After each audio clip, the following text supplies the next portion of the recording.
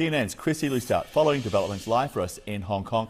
Okay, there's a, there's a couple of key dates coming up, and one of them is. Thursday to see whether or not uh, this real estate company can actually make payments on this debt. Yeah, well, Thursday is a key deadline. It's right around the corner. That is when an interest payment worth some $120 million is due. A lot of investors are waiting to see what is going to happen this day as concern is mounting for this heavily indebted Chinese property giant and the spillover risk it poses to the greater economy. You know, on Monday we saw global markets skid with the S&P and the Nasdaq posting their worst performances since May, the Dow notching its worst performance since July. It prompted the White House to issue a statement saying, "We are monitoring the markets, but Evergrande's business, they insist, are centered overwhelmingly inside China. Um, on Monday, we saw markets go into the red here across the Asia Pacific region, um, with uh, shares of the Hong Kong listed Evergrande down 10%, the Hang Seng down some 3.3%. You just showed that stock chart. We'll bring it up one more time again, just to remind our viewers how they're performing right now. And we're seeing additional losses this day, not as bad as yesterday, but here in Hong Kong, down almost half a percent. China Evergrande Group shares continue to lose value, down 3.51%. Japan's Nikkei down almost 2%. I should note that the stock markets in South Korea and in mainland China are closed due to a public holiday. Now, Evergrande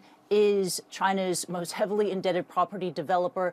It owes somewhat $300 billion worth of liabilities. It's been struggling to pay it back. And that has prompted dozens of disgruntled and desperate investors to protest at its offices and headquarters in Shenzhen. And as we've been monitoring on social media across many other cities where Evergrande has offices all across China, last week, Evergrande warned that it may default. And of course, a default would just send shockwaves throughout the economy in China and elsewhere around the world. But when we speak to analysts here in Hong Kong and across Greater China, they insist that China, that Beijing will step in to intervene. It may not be a bailout, does not look likely, they say it will be a bailout, but some sort of a workout to soften the blow.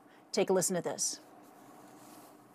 I still uh, anticipate uh, Beijing to to step in, even though uh, without a, a, direct intervention or, or, bailout, but at least they will engineer some sort of restructuring so that uh, it will look like more like a, a soft landing for uh, the Evergrande saga. You know, there's just too much at stake here. The last thing China needs right now is a major default, but so far, Chinese authorities have yet to provide any public assurances that there is a sort of plan to resolve the Evergrande debt issue. So as a result, that has spooked investors all around the world. Back to you, John.